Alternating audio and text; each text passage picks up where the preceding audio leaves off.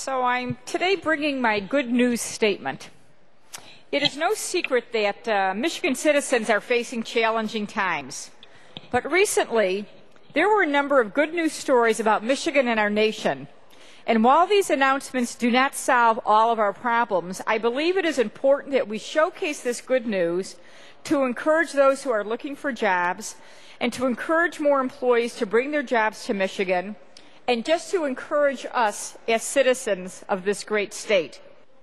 Just last week, Com- Comerica Bank's Michigan Brief predicted that Michigan jobless rate will fall below 12.5%, which I know is still way too high.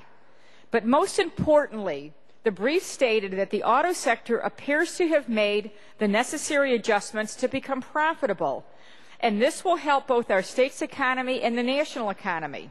Comerica's chief economist, Dana Johnson, believes that this means that the production of goods and services will grow by 3% or more this year.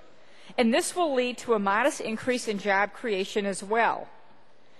And thanks to President Obama, proof of this auto sector rebound comes in the announcement from General Motors recently that they will spend $890 million at five factories, including one in Michigan, to upgrade the V8 engines to make them more fuel efficient.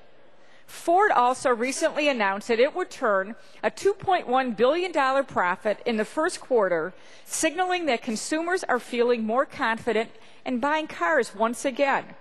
This was Ford's fourth straight profitable quarter, and the company expects to end the year with strong full year earnings.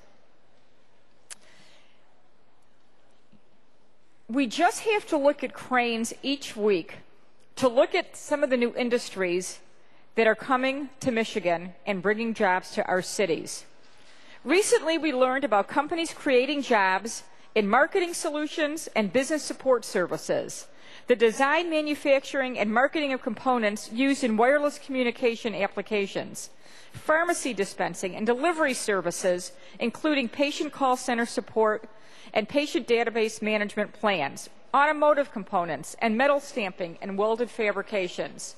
These and other companies could bring over 15,000 jobs to Michigan. And even more importantly, they show that we are diversifying our job base and our economy. And that is the best news in recent months.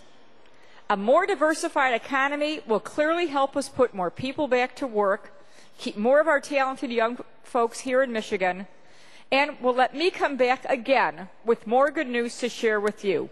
Thank you, Mr. President, and I would like my remarks, remarks printed in the journal.